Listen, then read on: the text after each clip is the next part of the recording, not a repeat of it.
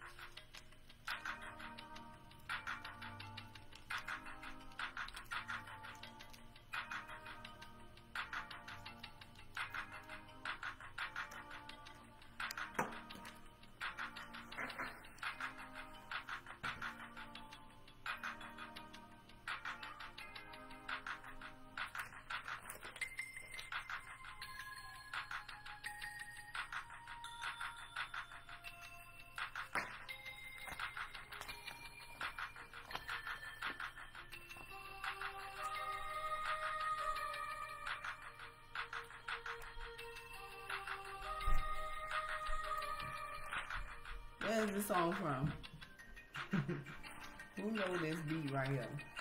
I know y'all know it. Where is it from? I found my speaker.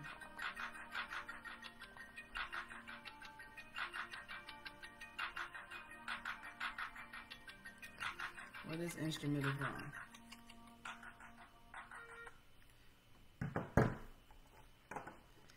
Now, why you got me on hold that long? Why am I on hold that long?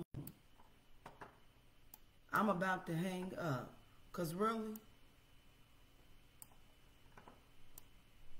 folks be on hold so long, you about to start rapping on the beat. Who can admit to that? How many y'all done rapped on that beat? Cause boy, they be having you on hold so long. You be like, why am I on hold that long? Like really? It ain't even. I will call you back because I'm about to hang up. I will call back another day. Matter of fact, I might not even call back. It is what it is. How many people be on that line and it be taking forever for them to pick up? Why do they be having us on hold like that? And you know what's crazy, y'all?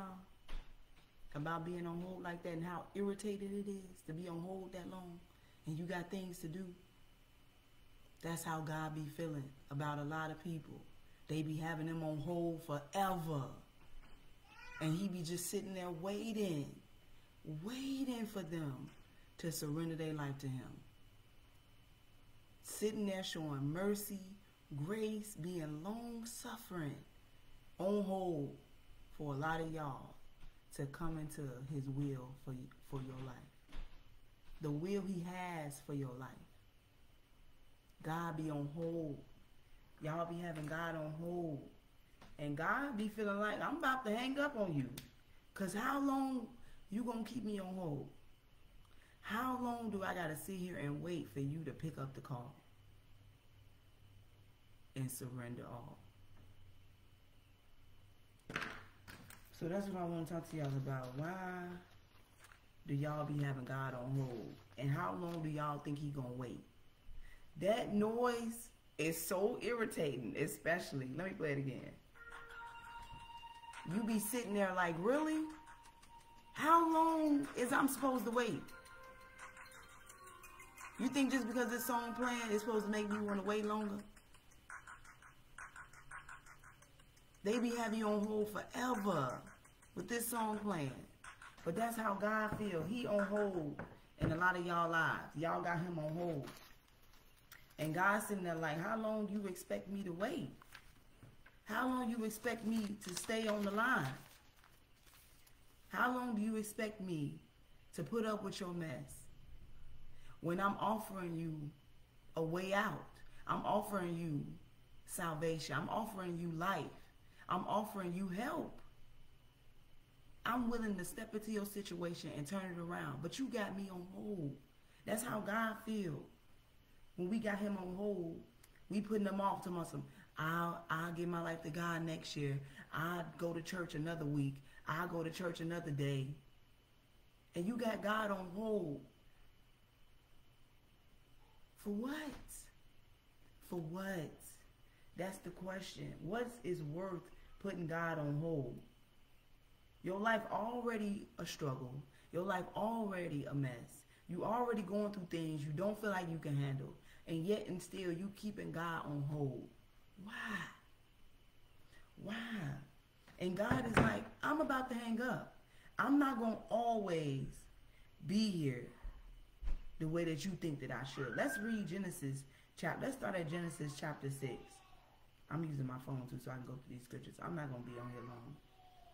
But let's just break it down how God feel when people have him on hold. God said in Genesis chapter 6 verse 3, he said, And the Lord said, My spirit shall not always strive with me. My spirit shall not always strive with men. God not going to always be there for you.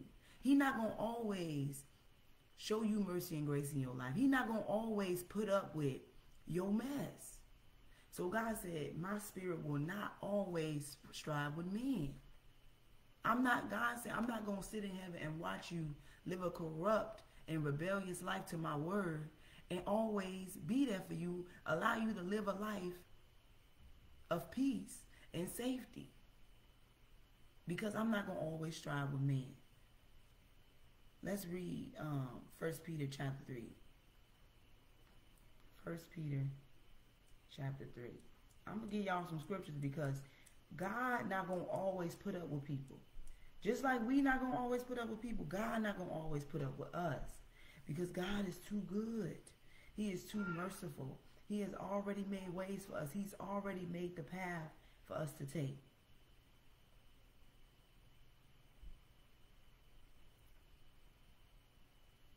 Let's read that. So let's read 1 Peter chapter 3 verse 20. And it says, which sometime were disobedient when once the long suffering God waited on the days of Noah, Noah, while the ark was a preparing, wherein few, that is, eight souls were saved by water. So the Bible says that there was a time in the days of Noah when Noah was building the ark, and God was allowing people to come to him in that time when Noah was building that ark before the flood.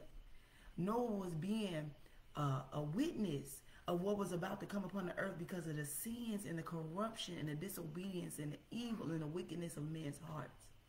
And so God told Noah to build an ark.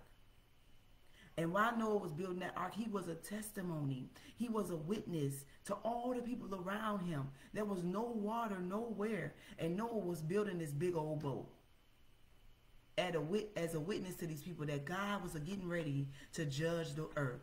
And I'm pretty sure Noah was telling them, it's about the rain. There is about to be rain. And in those times, it never rained on the earth. And so Noah was building this boat, and people was probably walking past like, what's wrong with dude? Why is he building this boat? It ain't no water nowhere. Why would he build a boat in the middle of nowhere? In the middle of a desert, in the middle of a dry place? But yet and still, they didn't stop to figure out what was going on. They just went about their life, went about partying, went about getting married, went about building their lifestyles. Didn't think none of it until the day that the rain came and the flood hit the earth and everything in the earth was destroyed. Why? Because of sin, because of rebellion, because of evil and wickedness of people's heart. And we are in the same exact times today.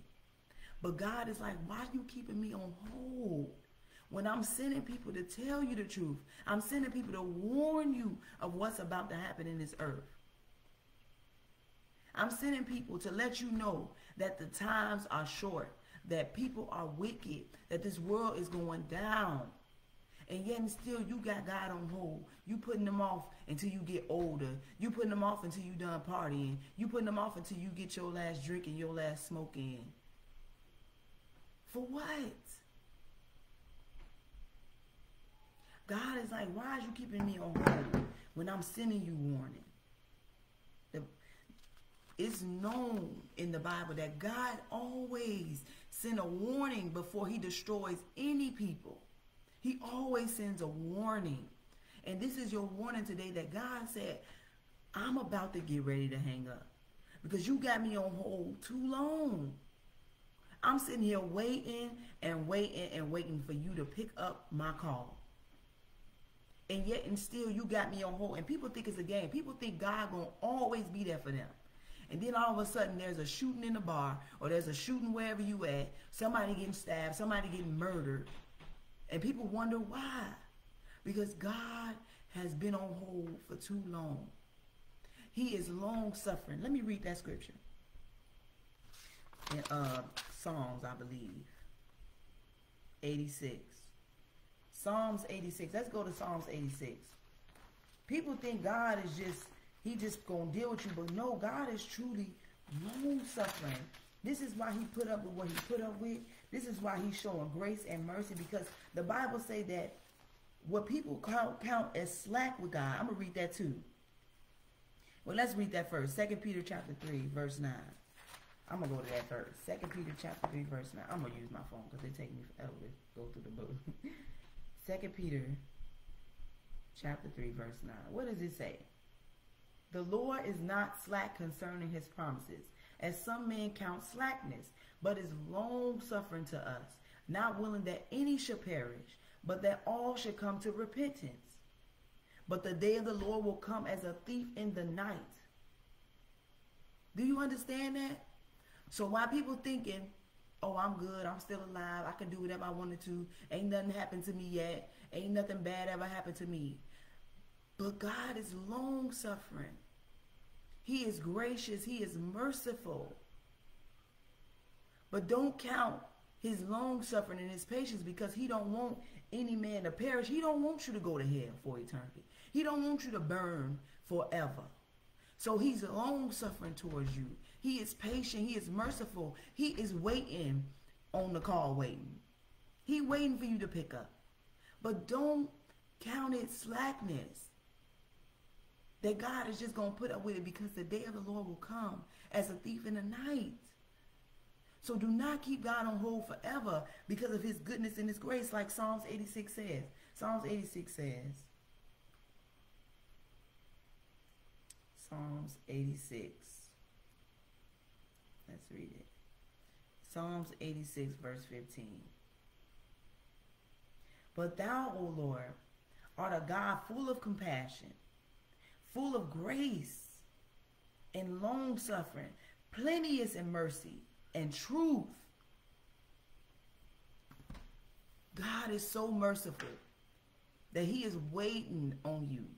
He is literally waiting on you. He's sending people like me and all the people who get online and try to be a witness to you. All the people who share the services where the gospel is being preached online. To be a light, to be a beacon and a beacon in a dark place like a lighthouse. To warn you of the destruction that is to come. But a lot of y'all got God on hold like he gonna be there forever.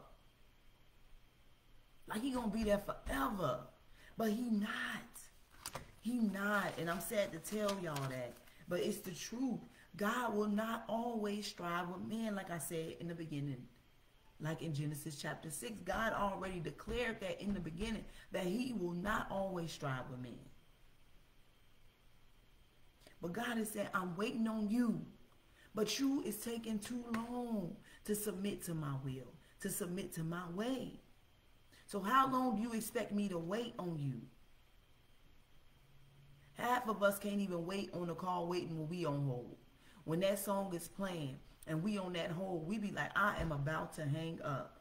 Day is taking too long. Why is it taking so long for us to answer the call that God has for us? The call that he has put out for people to listen to to submit to his will. Let's read Nehemiah chapter 9.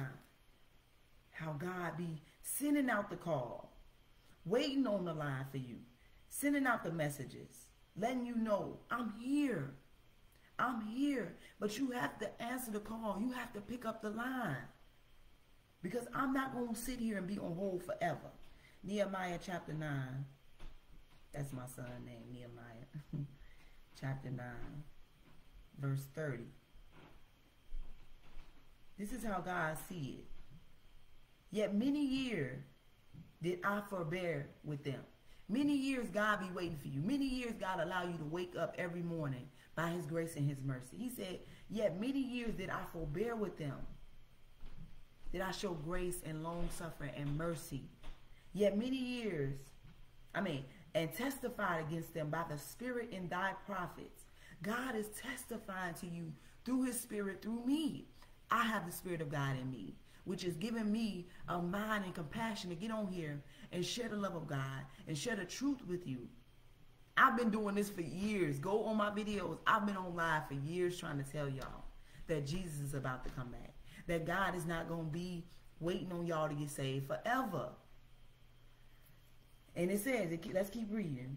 Yet would they not give ear. Therefore gavest thou them into the hand of the people of the land. Nevertheless, for thy great mercy's sake, thou did not utterly consume them nor forsake them. For thou art gracious and merciful God. So God is letting you know in his word that it's been many times where God had to give the people that he loved over to the enemy because they not giving ear to the warnings, to the testimonies, to the messages that God is sending through his people. And so he had to allow the enemy to consume him as a witness to the fact that God is not going to always put up with mess. He didn't want to. But God is so good and so merciful, like the scripture says. He allowing us. He said, Nevertheless, for thy great mercy's sake, thou did not utterly consume them. For his mercy's sake, he not allowing you to be consumed to this very day.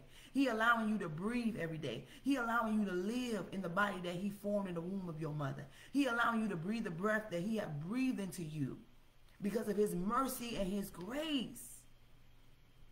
But God will not always be merciful and gracious to those that will not submit to the call and the warning that is being put out. He will not always do it. There are many stories in the Bible how God had to let his people be consumed because they will not submit to his will, will not submit to his word, will not submit to the warnings. And so God is like, well,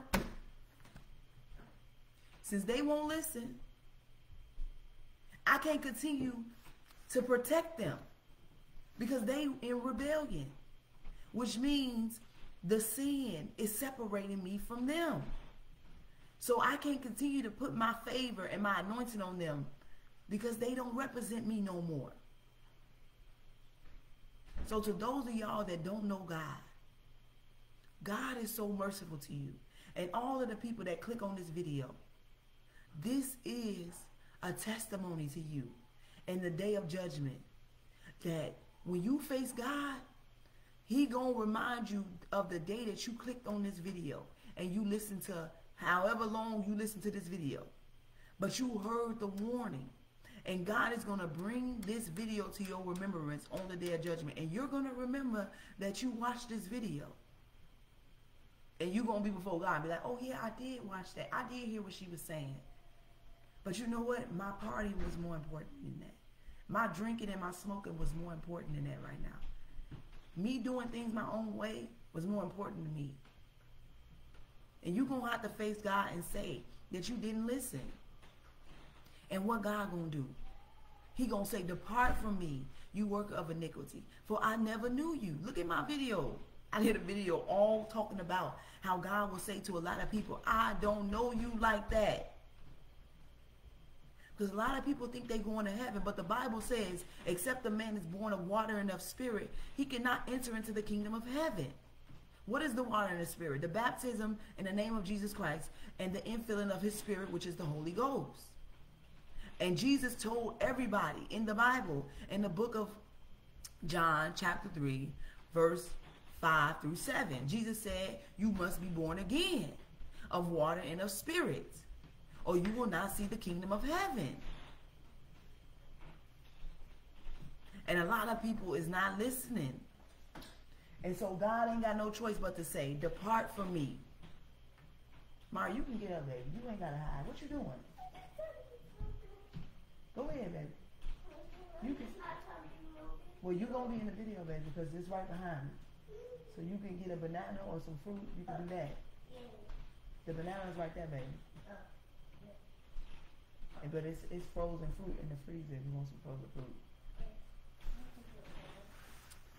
So God is saying, I don't lost my train of thought. My daughter was trying to sneak it in. she didn't want to be in the video. But God is saying, I'm not, I'm already giving you, I'm already giving you the instructions and I'm already giving you the way of life. But I'm not going to always wait on you to come and do what I'm calling you to do. Because he said my spirit will not always strive with me. God not going to always put up with our mess. He's not going to always wait on the line for us to pick up. So people got God on hold and God is like, okay, I'm waiting for you to pick up the call. I'm waiting, just like we be on the call waiting. We be like, oh my God, I'm about to hang up this phone if they don't pick it up. I got things to do. And God feel the same way. God got things to do in your life. But if you continue to wait and put him on wait, call hold, call waiting, I mean, keep him on hold with the music playing in the background. Because you partying, you drinking, you living your best life, YOLO. But his word, I ain't even drink none of my tea. But his word is still standing. His word is still alive. This, all of this is coming to pass right now as we speak. His word is coming to pass right now. Just like these prophets spoke thousands of years ago. It's happening right now, just like God said will be happening in the last days. And yet and still people got God on hold to do whatever they heart desire. And the stuff that they heart desiring is destroying them at the same time. But you don't want to give heed to what the words say. And it's real, it's true, it's alive, it's coming to pass as we speak. And God is like, okay, okay, I'm waiting. I'm sending my people to tell y'all. I'm sending the warning.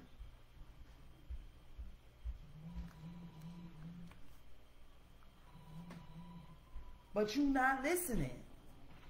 So let me read Second Chronicles chapter 36 and 15. Let's read this because y'all think it's a game.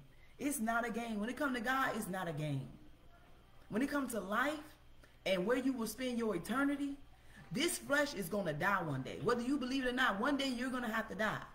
We don't know how. We don't know when we're going to die. I'm going to have to die one day.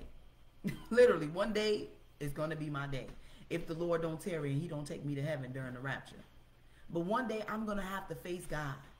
And I'm going to have to talk to him about everything I did in this body that he allowed me to live in. And I'm either going to hear, well done, my good and faithful servant, or I'm going to hear, depart from me, you work of iniquity, for I never knew you. So all of us is going to have to face this God that the Bible talks about. This God that people be sharing posts about. We're all going to have to face him and give account of our lives lined up with his word. And what are we going to say? You better get to reading it and finding out the way that he expects us to live. Because we can cry all day and make posts all day about how we love God and how we need him. But if we're not reading his word and learning about him, it's in vain. It's pointless. It's pointless. So I'm trying to tell somebody today, let's read Second Chronicle, that warning comes before destruction. And God is not going to wait on the line forever. He's not going to be gracious and merciful to us forever. It goes for me too. If I decide one day to wake up and say, you know what, God, I'm done living according to your word. I'm about to put you on hold and go live my best life and go live according to the lust of my flesh and the pride of my life. I'm going to be held accountable for that. And God knows if he will allow me to continue to live and breathe, knowing that I forsook his way. And I knew better. I can't do that because I know too much already. So my grace is really cut short. But he is even more gracious to you because he's trying to allow you to come to the knowledge of the truth of his word.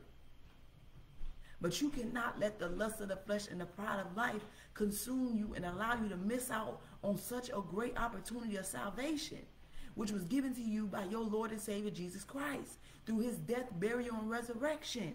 Jesus died a horrible death so that you can have eternal life. So that you can take God off hold. So let's read Second Chronicles. Let's read Second Chronicles chapter 36. Chapter 36, verse 15. And the Lord God of their father sent to them messengers, rising up and sending, because he had compassion on his people and on his dwelling place. But they mocked the messenger of God, and they despised his words, and misused his prophets, until the wrath of God arose against his people, till there was no remedy. It's a lot of people who probably be laughing at me. It's a lot of people that probably be like, oh, here she go again. Got this, got that. Get saved this, get saved that. We in the last days. Jesus is coming. It's a lot of people who be doing, probably doing that. But I don't care because I know the word of God is real and it's true. And especially now, especially now, the way stuff is breaking records, the way evil is in this earth, just like the Bible said, perilous times shall come, for men will be lovers of themselves more than lovers of God. That wickedness shall uh that wickedness shall grow. I can't think of the word increase.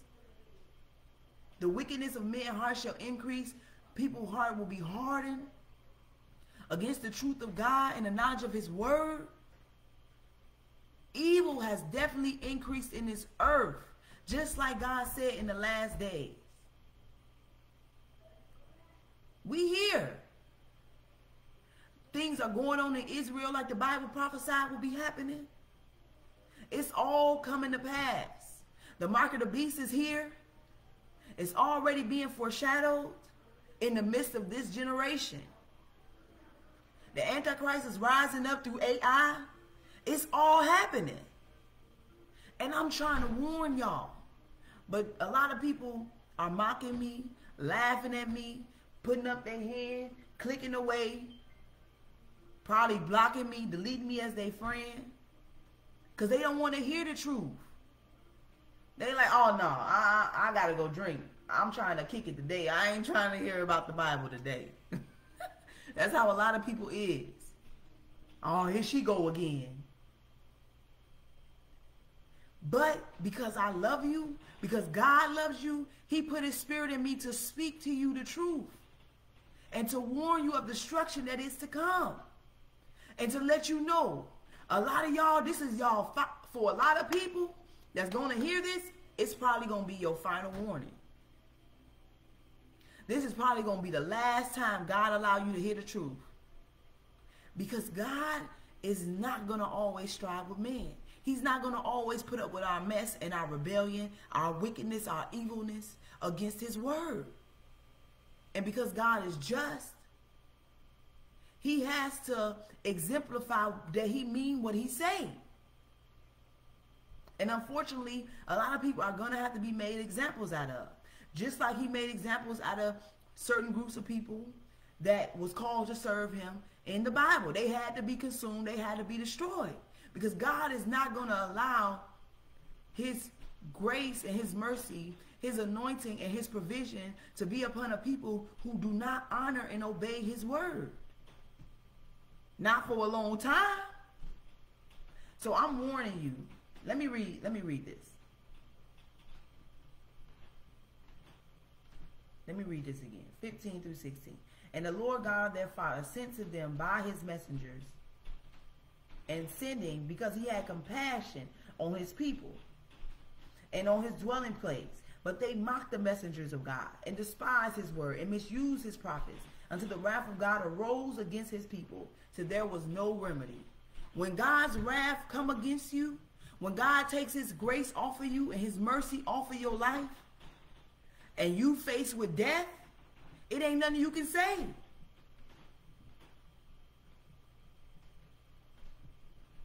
It's over. You know how many people on their deathbed was like, God, please. And he was like, no, I gave you enough time. I sent you a warning already. I told you this was going to happen if you continue down the road that you are on. But you decided not to listen. And so now you in your day of calamity and you expect me to show up and show out for you, but you never responded to the call. You kept me on hold for too long, my son and my daughter. So don't keep God on hold. Answer the call. Pick up the call waiting. Because this is a lot of people's last warning. I'm sorry, I have to say it. That's what the Spirit want me to say. This is a lot of people's last and final warning. Summertime is coming. And, and it's and it's sad to say, but it's the truth. But a lot of people die during the summertime. A lot of people go during the summer. Because people are wicked. And people are led away by the pride of life and by the lust of their flesh. And people's heart are not compassionate. People killing their mamas, people killing their grandmas, precious grandma. People are murdering their precious grandmothers, their mothers and their fathers without a, even a second thought over stupid stuff. People murdering their best friends, family members, people they grew up with, not even second thinking it. People dying and being murdered every single day, and it's getting hot outside, y'all. And it's sad to say, during the summertime, a lot of people don't make it. So I'm warning you and I'm begging you, answer the call. Take God off hold because he is about to hang up. Please. Because dying in your sins is not what you want to happen. Everybody not going to heaven, my dear precious and brothers and sisters. And you especially not going if you not have submitted to Acts 2 and 38, which says, Repent, be baptized, every one of you in the name of Jesus Christ for the remission of sins. And ye shall receive the gift of the Holy Ghost. Repent. For the kingdom of heaven is at hand. We are in the last days. Take God off hold. Take him off hold. And I guarantee you, God is going to take care of the rest. But submit and obey Acts 2 and 38. I love y'all. I hope this helps somebody. But please give heed to this warning. Because God loves you so much that he allowed me to come on here and be bold enough to tell you in love. So God bless y'all.